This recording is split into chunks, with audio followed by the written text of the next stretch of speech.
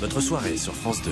Après 20h30 le samedi, présenté par Laurent Delahousse, en soutien au d'action les stars reprennent les tubes de Starmania autour de Lynn Renault. Tout ce qu'on veut, c'est être heureux.